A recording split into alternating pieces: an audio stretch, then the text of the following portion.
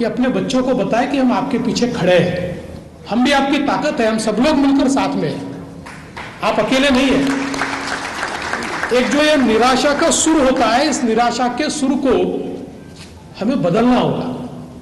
ये जो हमारे ब्राह्मण तरुणों में कई बार एक निराशा का स्वर दिखता है, वो स्वर तो समाप्त हो ही जाएगा, लेकिन देश के विकास में, समाज के विकास में एक बहुत बड़ी भूमिका फिर एक बार हमारे जो ब्राह्मण समाज के युवा है, वो युवा निभा पाए।